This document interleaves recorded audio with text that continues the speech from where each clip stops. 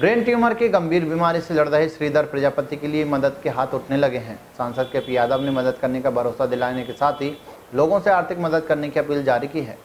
नजुल colony निवासी श्रीधर प्रजापति में कमाने वाले इकलौते वही हैं।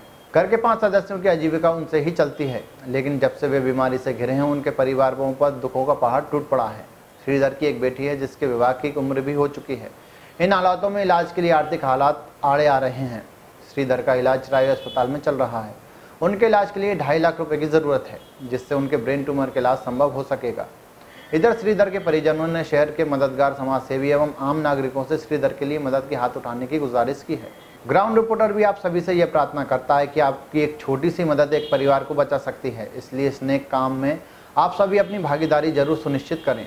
राशि डोनेट करने के लिए आप SBI खाता संख्या बीस पच्चीस नवासी ज़ीरो छः चवालीस I F S I S B I code double zero three double zero eight one में अपनी मदद दर्ज करा सकते हैं। इस, इसके अलावा अधिक जानकारी के लिए mobile number eight two six nine zero seven four three five eight पर भी संपर्क कर सकते हैं।